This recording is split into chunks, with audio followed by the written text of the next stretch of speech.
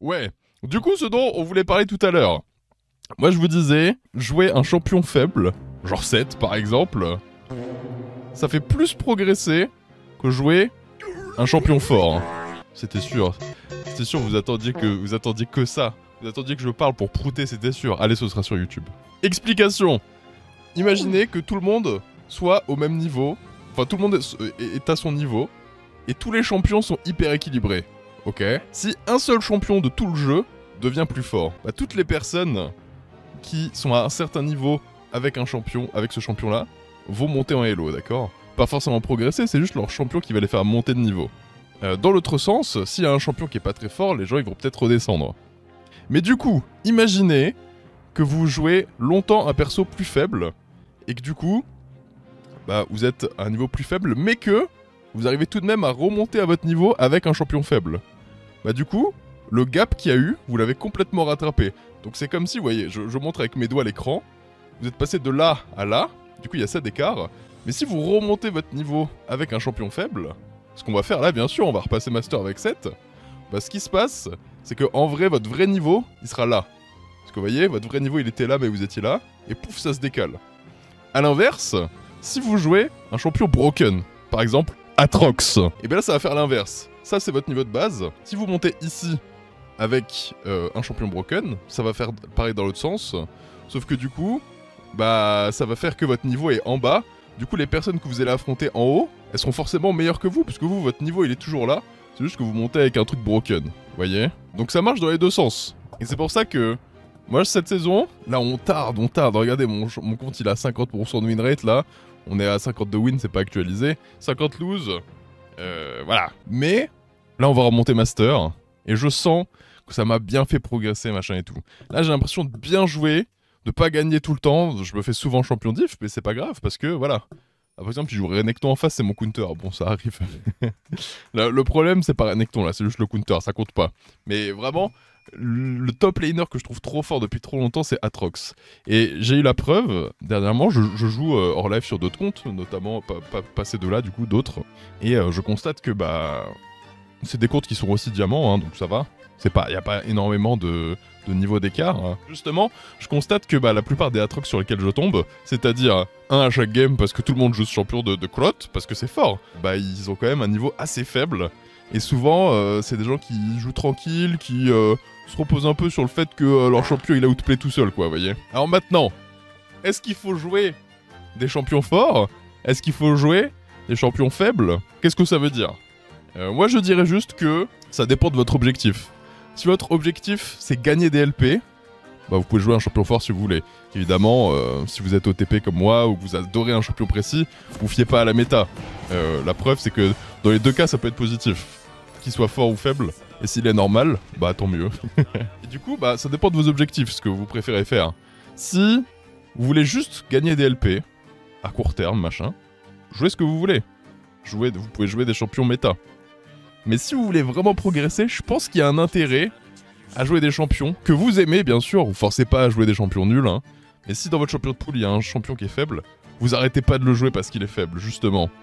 Euh, vous pouvez très bien jouer le champion en flex si vous voulez pas le jouer en solo queue, machin et tout, mais je pense que ça fait vachement progresser. Moi, malheureusement, j'ai pas trop le choix parce que bah, globalement, euh, globalement, euh, quand je joue pas 7, je joue d'autres champions qui sont pas très forts, donc voilà. Et j'ai pas forcément envie de jouer les champions qui sont méta actuellement. Et je trouve vraiment que je progresse dernièrement. Ça se voit pas à mes LP, mais ça se voit, je pense. Euh, moi, je le reçois à mon niveau de jeu et tout. Je clique, je clique de mieux en mieux. Et encore plus, euh, parce que j'ai un champion qui est pas permissif. Ça, c'est un peu un deuxième point. Si vous jouez un champion non permissif comme 7, euh, c'est-à-dire qu'il n'y a pas beaucoup de mobilité, le machin, un, il a une box énorme, ça se fait kite, ça a des énormes CD, ça c'est important. Ça apprend vachement les mécaniques de base du jeu. Parce que si on prend deux joueurs euh, aux deux extrêmes, un qui joue un perso qui est très très permissif mécaniquement, genre Akali, et si on prend un perso qui est très très low mécaniquement, euh, 7 euh, ou je sais pas, euh, pas d'autres persos assez golémiques, et que on les met sur un champion moyen. Bah si euh, la personne s'entraîne régulièrement avec Akali, bah il va beaucoup reposer sur le fait que Akali soit permissive. Je prends des exemples, hein, bien sûr. Là, on débat pas sur euh, les champions que je cite. Euh, c'est juste mon point de vue à moi sur les champions, mais voilà. Alors que là, moi en jouant 7, j'arrive à lâcher des dodges, des machins, euh, genre vraiment un truc de fou, alors que j'ai une hitbox énorme.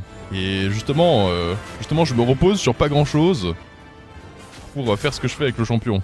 C'est ça qui est trop bien.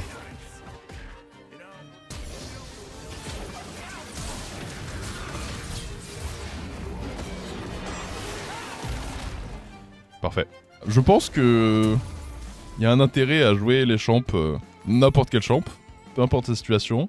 Mais je pense qu'il faut pas s'endormir non plus sur les champions comme ça. Parce que là où je voulais revenir, que j'ai pas dit encore, c'est que bah monter en LP c'est bien, mais c'est pas ça qui va vous faire devenir meilleur au jeu.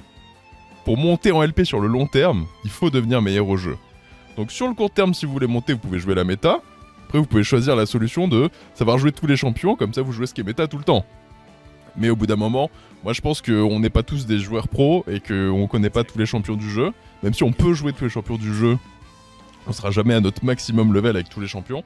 Du coup, euh, vous voyez plutôt par rapport à votre champion de pool. Parce que votre champion, votre champion de pool, c'est 3 champions. Est-ce que c'est plus, c'est moins? Vous voyez ce que vous avez dedans? Et euh, dites-vous que bah, l'entraînement sert à quelque chose en fait. Et s'entraîner avec moins, c'est bien.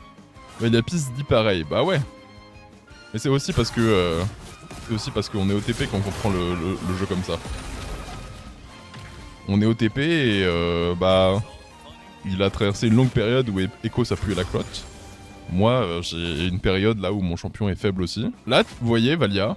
Là, je trouve qu'il est pixel mécaniquement avec son champ. Parce qu'il est bien meilleur qu'avant. Mais que, du coup, ce qui l'a permis d'être pixel mécaniquement. Vraiment, hein, il a beau être passé de, de 5 millions de maîtrise à 9 millions.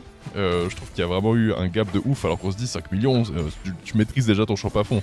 Mais non, je trouve qu'on peut toujours progresser et justement, le fait qu'il ait eu cette période où euh, c'était creux sur, son champion, bah ça fait qu'il a progressé de ouf en fait.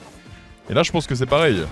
Là, rendez-vous compte hein, de l'état immonde de mon champ. Je pense que depuis sa sortie, il a jamais été comme ça. Mais, bah, si le champion se fait buff et qu'il devient ne serait-ce que décent. Imaginez, là je remonte Master, je suis en train de remonter Master avec ça. C'est forcément que j'ai progressé quelque part. Hein. Par contre, euh, le défaut de ça, c'est que c'est frustrant quoi. Quand t'es là, tu sens justement que les autres personnes qui t'affrontent sont moins fortes mécaniquement, mais que tu te fais gap par le champion, ce qui je trouve est, plus flagrant encore dans cette saison-là. Bah c'est frustrant certes, mais bon. Euh, je pense qu'on n'est pas non plus un milliard euh, ici présent qui écoute cette conversation à vouloir devenir pro sur le jeu.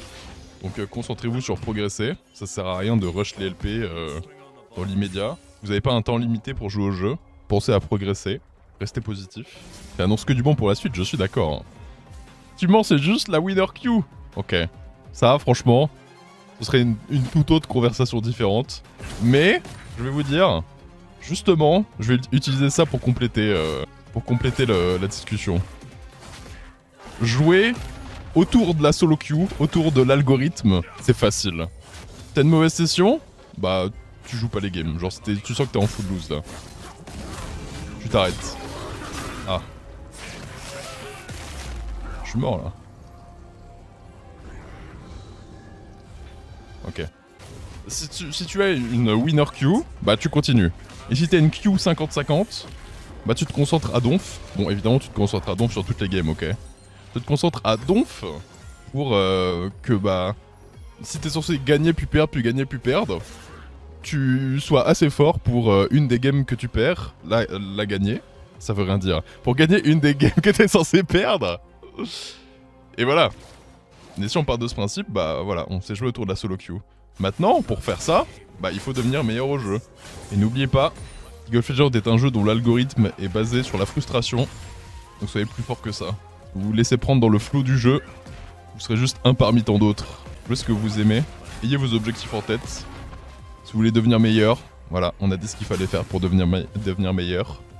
Si vous voulez juste gagner des LP ou lancer une ranked en vous disant ok là j'ai envie de détruire la game, euh, je vais apprendre euh, Atrox parce que c'est crack broken machin, bah allez-y. Ne vous privez pas de jouer un champion broken.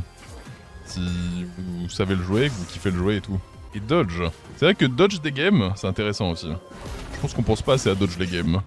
C'est plein de petites choses comme ça. Ça, c'est dodge les games, ça fait partie de jouer autour de l'algorithme. Culture, il vient de faire une formation gratuite, il a tout dit. Bah, c'est vrai, hein. Voilà, pour exclamation coaching. Étant dans ton cas, je ne peux que confirmer que le meilleur moyen de progresser, de toute façon, c'est de jouer un champion qu'on aime. Bien sûr. Après, pas obligé de jouer un champion, évidemment. Euh, c'est quand même bien d'avoir un champion de pool. Moi, je suis OTP et pourtant, je vous dis, c'est mieux d'avoir plusieurs champions qu'un seul.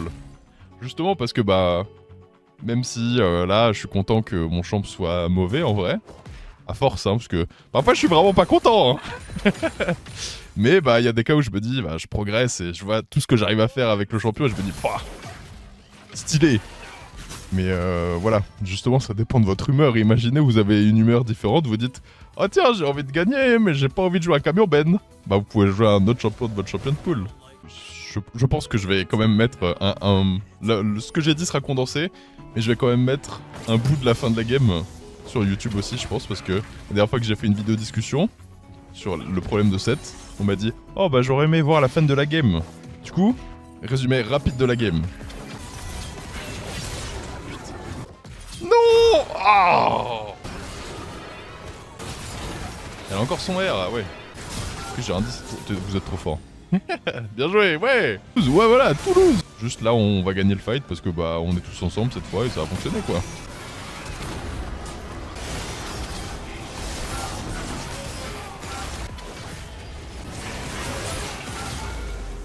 Ah merde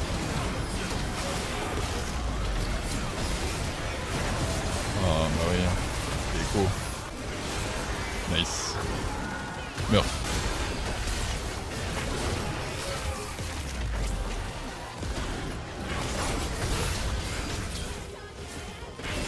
Bravo.